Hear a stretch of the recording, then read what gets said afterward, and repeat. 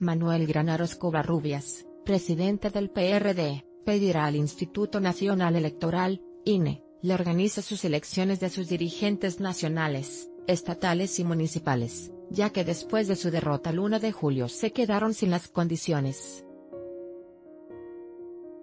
Se mandata al Comité Ejecutivo Nacional solicita al Instituto Nacional Electoral la organización de las elecciones internas, señala Granaros Covarrubias. El dirigente recuerda que la ley de partidos y del INE permite la organización de las elecciones de sus dirigentes o diligencias a través del voto universal y directo de sus militantes.